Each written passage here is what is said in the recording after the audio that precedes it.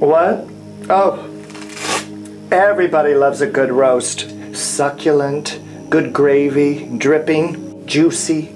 Ooh, I love a good gravy on the ro- what? Oh, you're talking about Cynthia Levin's roast. Is it going to be wild? Yes.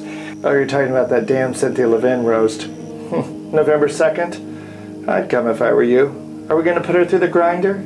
Oh, yeah. But in a nice way. Nothing dirty coming from us. If I were you, I'd be there. What?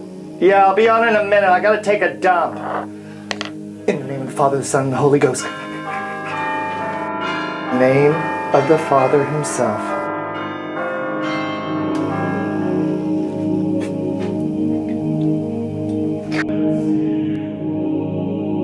That damn Cynthia Levin roast.